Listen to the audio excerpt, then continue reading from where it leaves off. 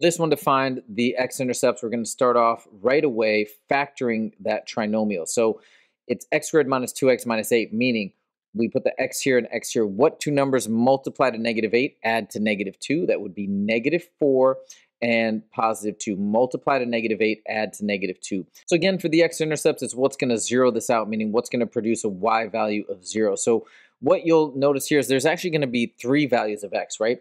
First, I can make x 0. That's to make that one zero. It's to zero everything out. So 0, 0 is one x-intercept. We also have, for this one, what's to zero that out? Positive 4. And then what about this one? It's to be negative 2, right? Negative 2 plus 2 is 0. Now, when we come to the y-intercept, you notice we already know the y-intercept. The y-intercept is when x equals 0. Well, guess what?